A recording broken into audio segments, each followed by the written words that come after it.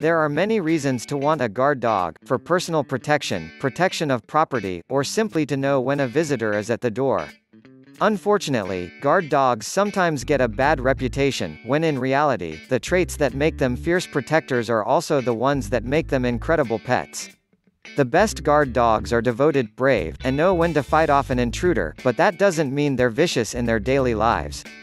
Give them the training they need when they're young, and these pets will do everything they can to protect you. Just as important, they'll make you feel safe and offer you a lifetime of love and affection. And for more, Rottweiler. If you know anyone with a Rottweiler, chances are that you've seen them be gentle around their owners but intimidating when it comes to strangers. To keep them on top of their game, be sure to socialize your Rottie with other people and dogs in addition to taking them to training classes. Puli.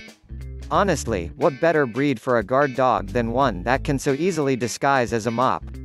Puli dogs were originally meant for herding, so they learn fast and can easily outsmart any predators. Don't let their silly appearance fool you. German Shepherd. German Shepherds are one of the most common breeds for police dogs, but they're just as common as pets. They'll protect your house from intruders, but they're so loyal that they will form a strong bond with you. Estrela Mountain Dogs. Estrelas are thought to be one of the oldest breeds in Portugal, where these dogs are named after a range of mountains. They're super gentle and protective, so they'll fit in with a tight-knit family. Caucasian Shepherd Dog. These massive dogs know exactly how to respond if they sense a threat to your house or family members, so don't underestimate their fluffiness. The Caucasian Shepherd dogs are a great option if you have kids and other animals, because they're loving and careful around their family. Catahoula Leopard Dog. These dogs are known for the unique patterns and spots on their coats.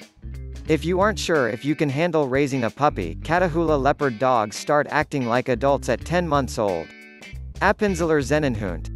Though smaller than some of the other guard dogs, Appenzeller Sennenhunds still make a great guard dog pick due to their agility and energy. They were originally farm dogs, so their intelligence and obedience will impress your whole family. Australian Shepherd.